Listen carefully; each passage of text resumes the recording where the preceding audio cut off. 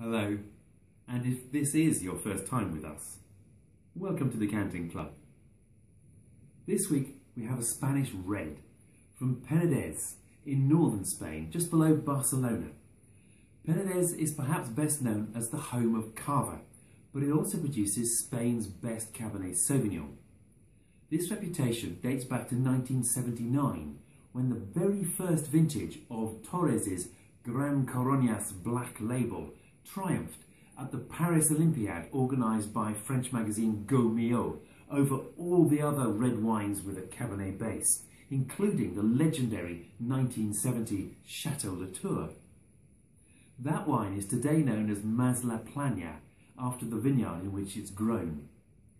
The Cabernet in this wine comes from a vineyard called Mas Tot, which was planted in 1983 in the wake of that sensational victory. It's not far from Mas Plana, but it isn't 100% Cabernet Sauvignon.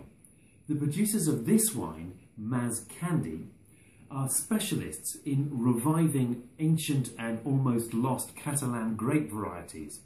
So 30% of the grapes for this come from a different vineyard called Les Forques, which is planted with a weird and wonderful mix of Cannonau, Monica, Mando, Sumoll and Roygenk.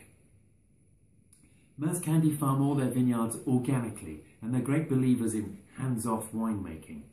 These grapes were hand-picked, fermented in stainless steel and then aged in French oak barrels, medium size, about 300 litres, for a year on their fine lees before being bottled without fining or filtration. American oak barrels are more commonly used by Spanish winemakers. Cabernet is known for its dark colour, but this is practically opaque. I can see red at the rim and in the stains it leaves on the side of the glass, but the centre is just black. Lovely. It's got that hot climate Cabernet nose. There's rich dark fruits, but there are more blackberries than the black currants you more commonly associate with Cabernet, which makes it smell a bit more like Shiraz. But you can tell it isn't because of the herbs and herbaceousness that a Shiraz wouldn't have.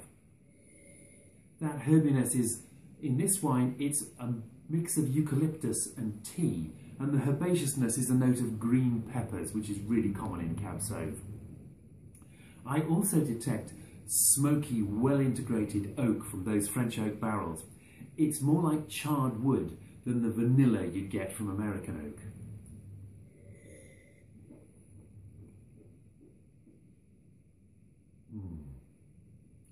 It's dry and full-bodied. I can feel the warmth of that 14.5% alcohol.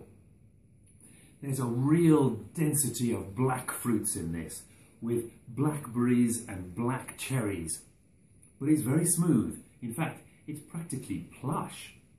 Only on the finish do you feel the tannins coming through. They're velvety and ripe, but they're quite strong. The acidity makes itself felt too. The finish is long and spicy, and also on there, I notice a distinct and very Spanish note of marinated black olives. Lovely.